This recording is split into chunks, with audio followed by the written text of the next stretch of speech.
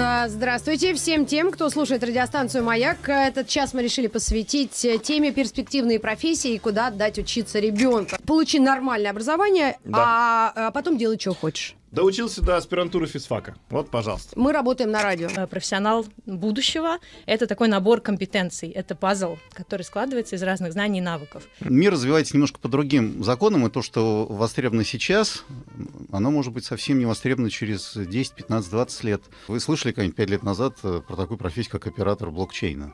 Ну, Да, до сих пор э, для многих это сам блокчейн это понятие экзотика, хотя у нас уже и правительство электронное создается, и все. Специалист будущего — это человек, который сам управляет, да. Университет не должен мешать моему образованию, да. Я сам свой набор компетенций формирую в зависимости от того, что востребовано сейчас на рынке, что нужно работодателю. Аппаратуру-то сделать можно, привести можно, специалистов не хватает. Да.